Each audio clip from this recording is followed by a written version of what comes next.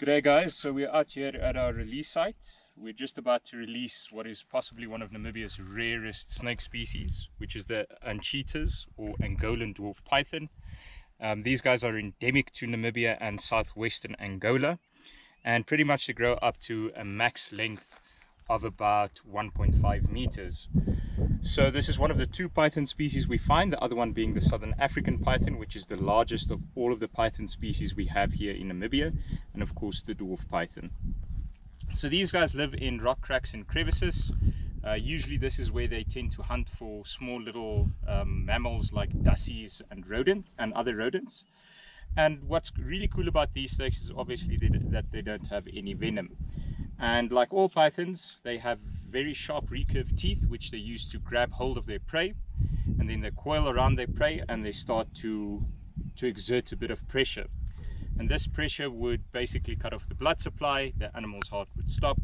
And from this point, uh, from that point in time, the snake will start to consume it.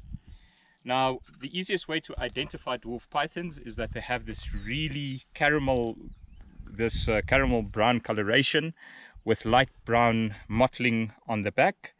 And you can also see the head look at the head shape. The face looks like that of a puppy dog. That's usually what what i like to call them. And pretty much you know with age they tend to become lighter in color as well.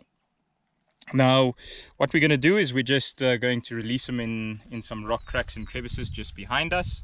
And then hopefully this guy um, you know he will be safe from poachers and uh, also from predators like with most of uh, our smaller python species here in Africa, a lot of people tend to collect these snakes for the illegal pet trade. But another big threat that faces dwarf pythons would also be habitat destruction. Now currently in Windhoek, there's a lot of people, you know, that are currently building roads and they're cutting through pristine habitat and a lot of these snakes are disturbed and unfortunately they disperse and they tend to end up in people's homes. So let's quickly release him.